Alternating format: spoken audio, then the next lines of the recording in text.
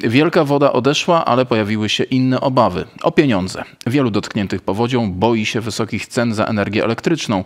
Bez niej osuszenie murów i przeprowadzenie remontu jest niemożliwe, a energia ma być droższa. To na razie garażem się nie bawię. Tu jest jedna, żeby te pomieszczenia. Łazienka ma też tutaj jakiś dostęp, bo tu jest ciepło.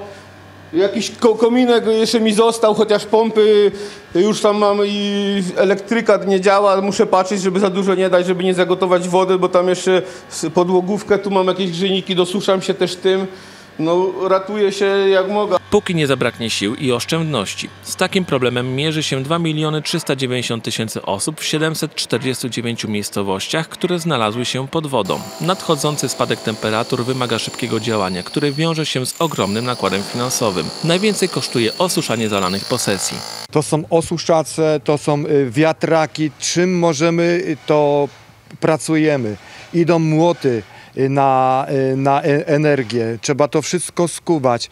Jest straszne błoto pod samą posadzką, pod steropianem. Konsekwencją odmrożenia cen energii będzie ich wzrost. Obecnie gospodarstwa domowe płacą za 1 MWh 412 zł.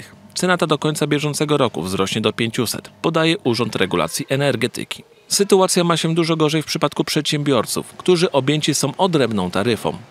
Myślę, że na chwilę obecną to w mojej firmie wyglądało tak, że cena za megawattogodzinę to w granicach 690 kilku złotych była.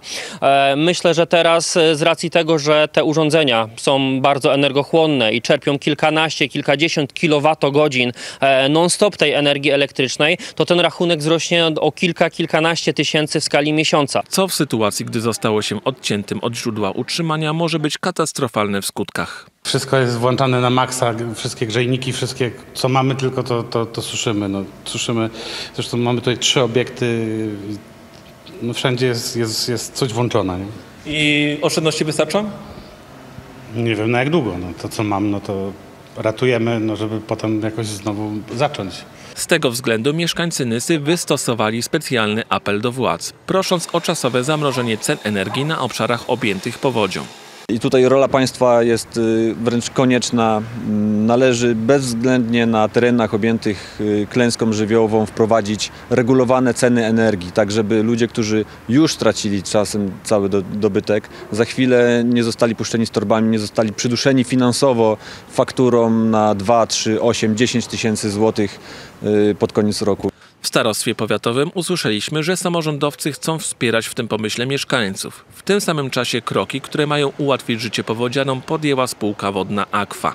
Odroczyliśmy o dwa tygodnie terminy płatności, to co mogliśmy już wprowadzić oraz nie naliczamy odsetek za płatności. No, jeżeli ktoś nie ma możliwości zapłacić, po prostu nie ma odsetek w tej chwili płac naliczanych. Nawet nie mamy możliwości pobierać opłat za wodę niezdatną do picia, także będziemy wszystko przeliczać, sprawdzać ile dni, na jakim rejonie, bo to różne rejony, różny okres nie miały tej wody zdatnej i stosunkowo do tego, ile nie było wody, będziemy naliczać jakieś upusty, rabaty, zobaczymy w jakiej formie jeszcze. Na razie nie zapadła decyzja o całkowitym zamrożeniu cen za wodę.